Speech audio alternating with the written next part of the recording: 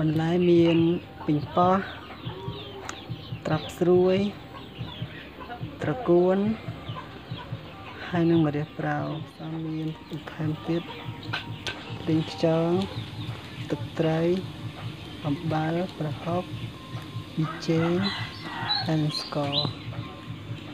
តែយើងធ្វើដល់ដងយើងដាក់ឆ្នាំងហើយដាក់ស្លឹកក្រូច ស្លឹកគ្រៃរំដេងហើយនឹងខ្ទឹមគ្របទុករហូតដល់វាពុះទឹកសម្លាយយើងពុះហើយដាក់សាច់គោចូលហើយយើងដាក់ប៊ីចេង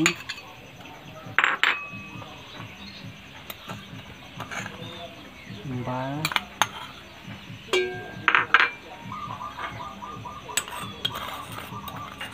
ស្ករជ្រុំប្រហុកចាំឲ្យដាក់ពេញខ្យង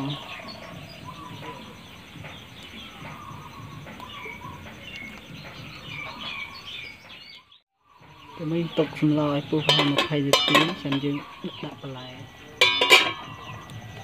តែមកដាក់ត្រកួន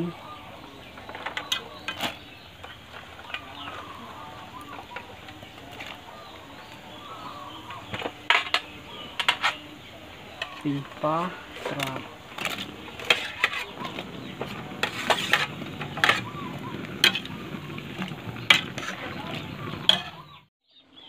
យើងថែមទឹកអំពិលទុំចូល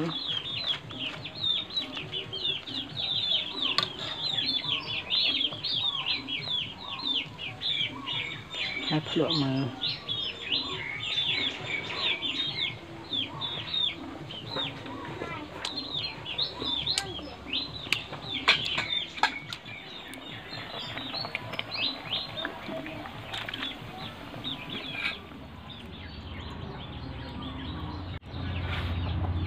យើងថែមម្រះប្រៅ